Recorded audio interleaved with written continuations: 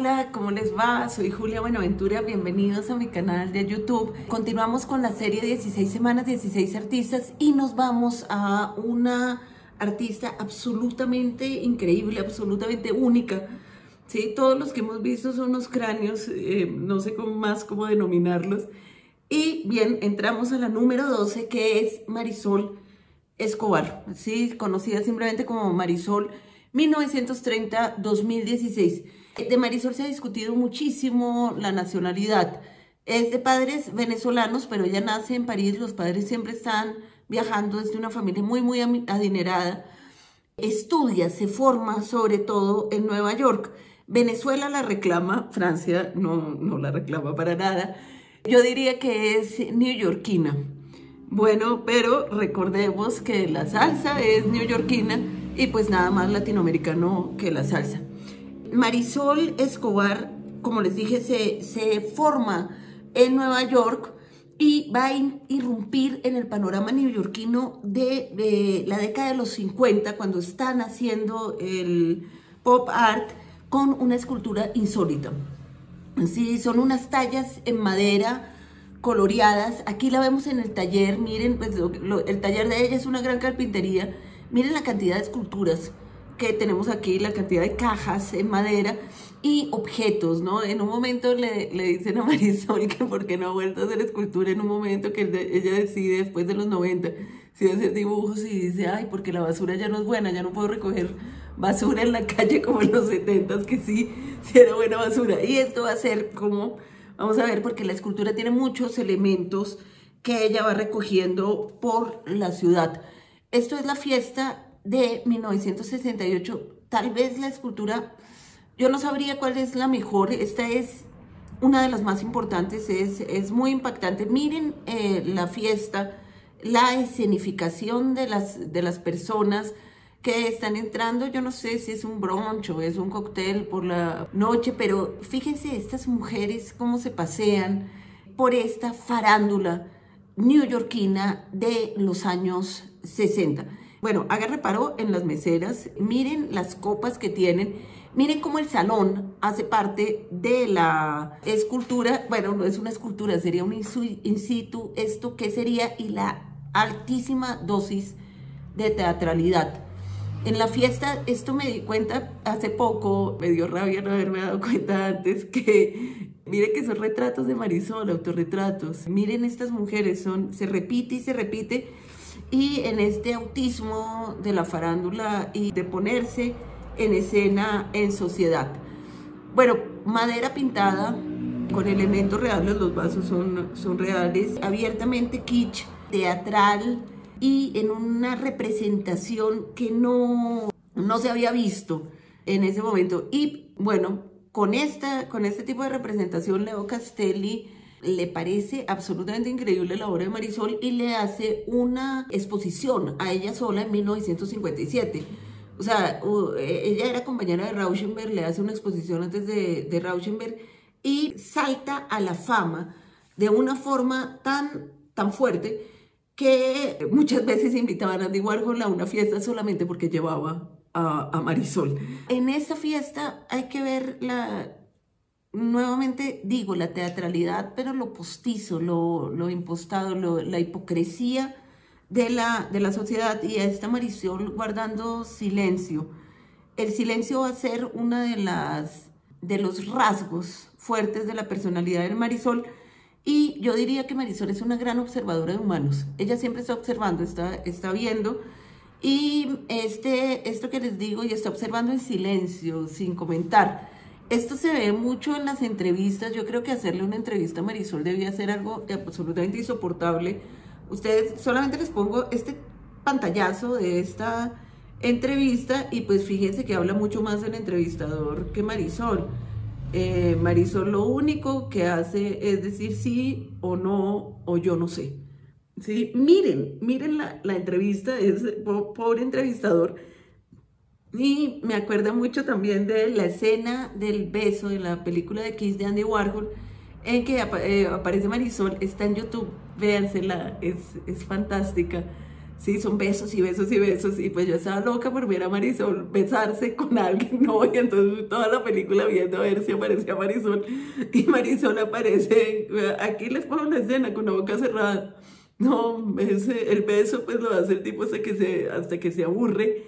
Y bueno, este silencio está completamente vinculado al suicidio de la mamá cuando ella tiene 11 años, 1941 eh, lo cuenta Rolando Peña, un, amigo de Marisol, artista venezolano, también muy, muy amigo de, de Andy Warhol. Dice, la mamá de Marisol se deprimió mucho porque el papá se había ido con la cargadora, que es con la niñera. Me imagino que con la niñera de Marisol. Estaba muy deprimida y no estaba comiendo. Entonces un día Marisol le dijo, mami, mami, voy a buscarte algo de comer. Cuando Marisol volvió, la mamá se había tirado. Sí, se había tirado por la ventana. Marisol la vio en la acera espachurrada. Y yo creo que eso fue lo que hizo que Marisol hiciera mutis, porque ella no verbalizó más. Ella hablaba, pero no verbalizó. Y en efecto, Marisol decidió no hablar, no habló durante, durante años. Y como les digo, se caracterizaba. Después volvió a hablar en el colegio lo, lo absolutamente necesario para pasar los cursos, pero era eh, ausente, más ausente, pero sobre todo observadora, muda de este, de este teatro social, de esta farándula y específicamente de la sociedad americana, ¿no? de esa sociedad del sueño americano de la época. Entonces les mostré la, la escena en donde aparece en la película de Kiss de Andy Warhol. Va a ser muy amiga de Warhol.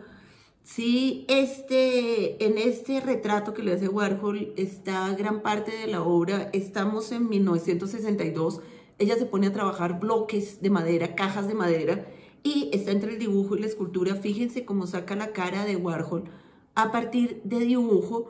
Eh, miren que los zapatos son reales, o sea, eh, aquí tenemos los dos zapaticos y las paticas de la silla son paticas que, pues, que encuentra en la basura. Ahora bien, lo más eh, interesante de esto es la, la, la, pose, la actitud corporal que logra Marisol con unas con unas cajas. Ella hace retrato de, varios artistas, entre ellos Picasso y Duchamp.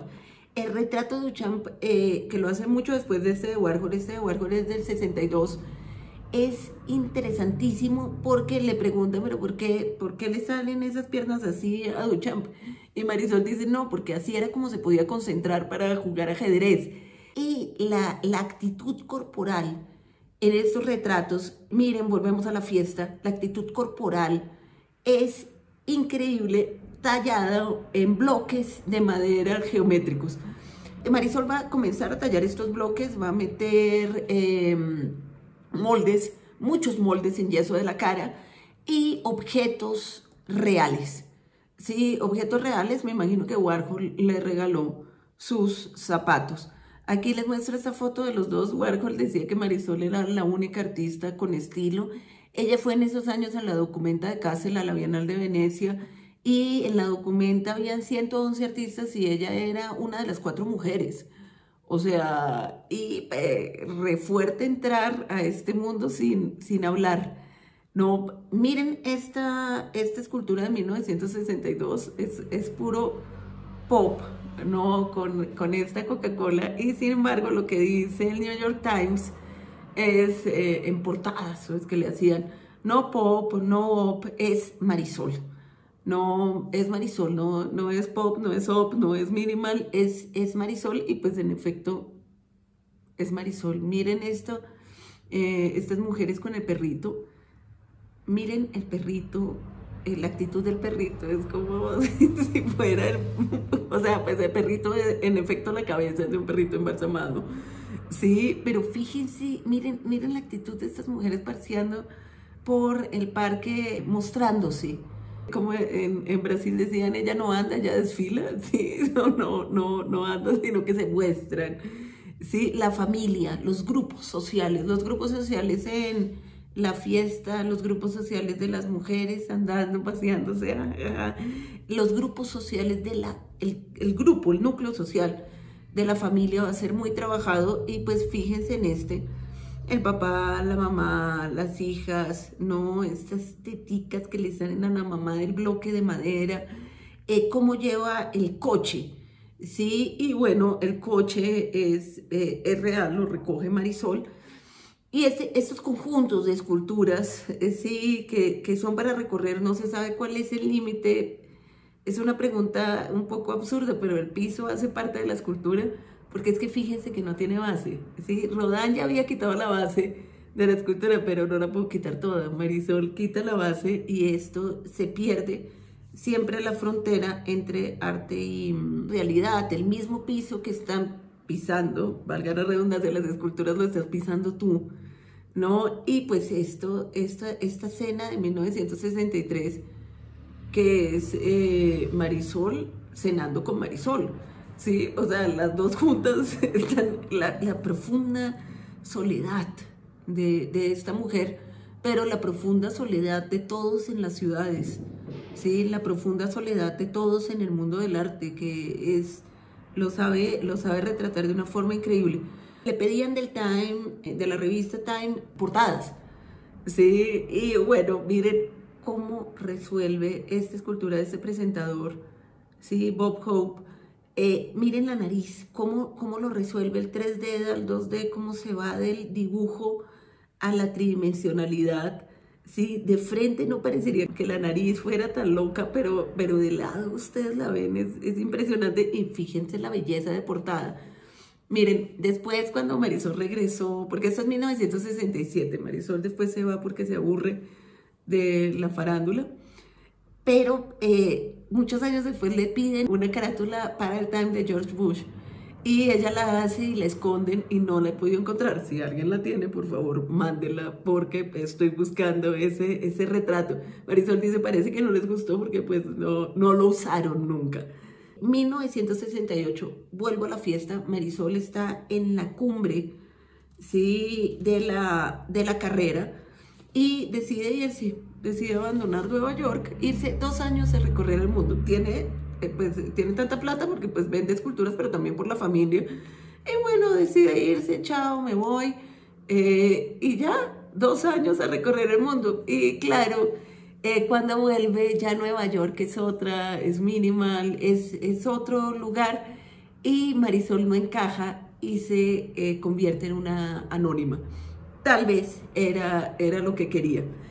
En estos viajes por el mundo, pues obviamente pasa por Italia, ¿sí? Le interesa mucho Japón y, Asia. Y después a la vuelta hace una recreación de la última cena de Leonardo da Vinci. Es 1984. ¿sí? La recreación es increíble, o sea, bueno, he dicho increíble mil veces, pero es que coge toda la teatralidad de la última cena y la hace en 3D. Eh, todos están en, en movimiento en movimiento a partir de bloques de madera. Fíjense cómo salen las cabezas a partir de bloques de madera con dibujos, ¿sí? Eh, los, los artefactos que hay sobre la mesa. Eh, miren la paz que tiene Jesús, el Jesús es de, piedra. Bueno, la, la, escenificación que hay detrás, los paneles de madera que están escenificando esta, esta última cena. Esto no, yo no puedo dejar de, de pensar en Aleyadiño, que es el es el mejor escultor barroco de América Latina. Pero, y bueno, el mejor escultor barroco de Brasil, sin ninguna duda.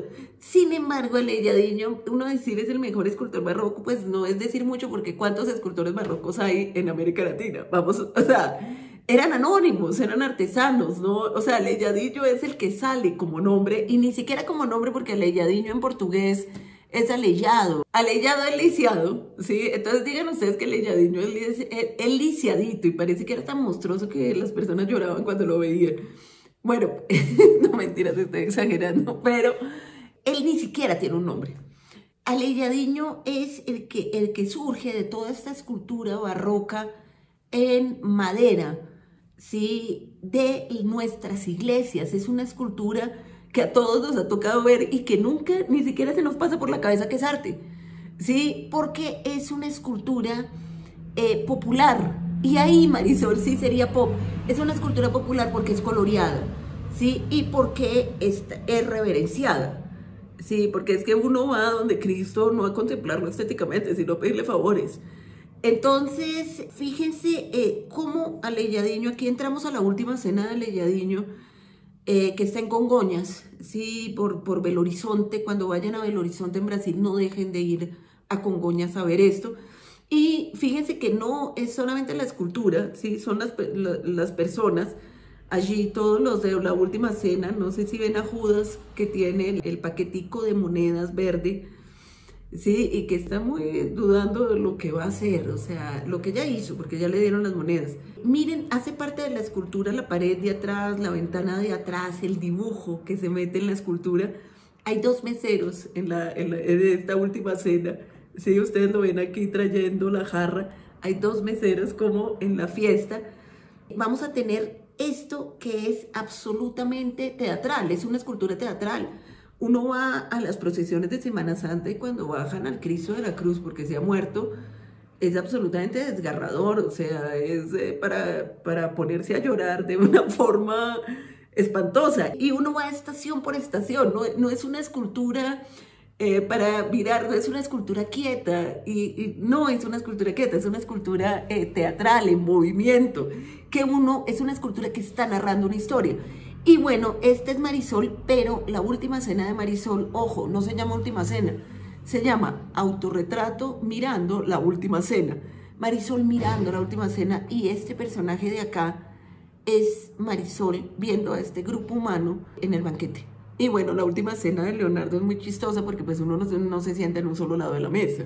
Sí, es una escenificación teatral. Entonces, bueno, aquí les traigo detalles de la última cena de Marisol que es impresionante. Y fíjese en el autorretrato de Marisol con esta melancolía, mirando la última cena. Miren cómo cruza los pies, como tiene uno, solamente se ven los pies, pero pues uno sabe que tiene las piernas cruzadas. Esta observadora del mundo, observadora de los grupos, humanos que siempre estamos haciendo teatro. Bueno, estos, yo estoy aquí haciendo un teatro también. Y termino con el autorretrato de Marisol, que es la escultura que mostraron en la exposición eh, Radical Women. Sí, increíble. Yo, yo me acuerdo cuando, cuando la vi, sí, y que, ¿cómo se llama? Autorretrato. Otra vez Marisol, una, en un bloque de madera y siete cabezas, todas son Marisol y ninguna es Marisol. Es, es, impresionante este, este autorretrato de Marisol. Yo pienso en todas las voces internas regañándose unas a otras. No sé si lo han experimentado. Julia me regaña todo el tiempo. Y bueno, miren, miren esta, esta belleza. Termino por el autorretrato de Marisol, pero les digo, aquí eh, no les he mostrado ni un 20% de lo que es esta artista venezolana o neoyorquina. Ustedes me dirán. Bueno, gracias. Eh, ah, suscríbanse a mi canal.